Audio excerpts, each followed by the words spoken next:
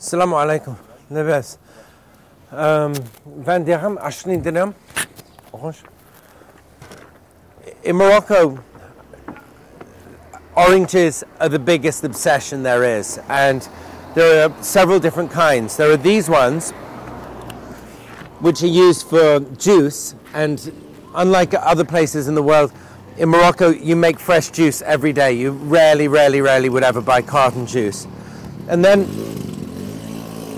there are these oranges which are for eating at the table. And if you visit someone's house, you'll often be given this big platter of oranges.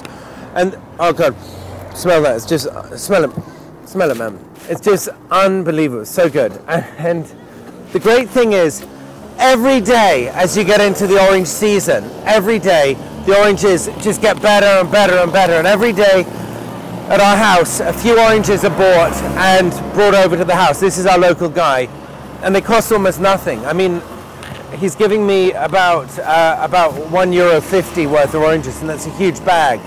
And every day they get better and better until you just can't stand it anymore. It's just so extraordinary. You're just orgasming over this taste, and then they begin to die down. The taste begins to die down, and you wait expectantly for the next season. Shukran.